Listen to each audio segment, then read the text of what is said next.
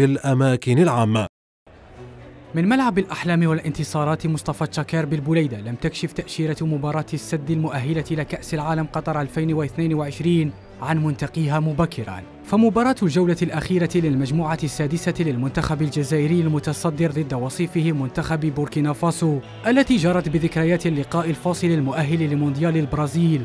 2014 كانت أصعب من المتوقع للناخب الجزائري جمال بالماضي وأشباله أمام الخيول البوركينابية التي شنت حربا نفسية شديدة عساها تكون مثمرة أمام أبطال إفريقيا.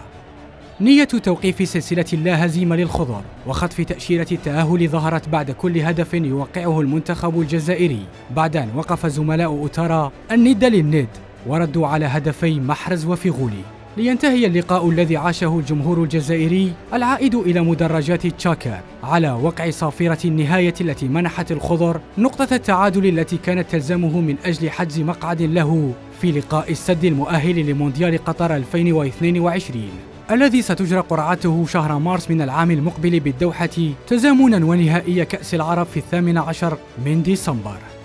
إذا هي خطوة أخرى يخطوها المنتخب الجزائري الذي وقع على مباراته الثالثة والثلاثين دون هزيمة وعلى أمل المواصلة في نفس الرتم والنسق يرتفع سقف الطموح.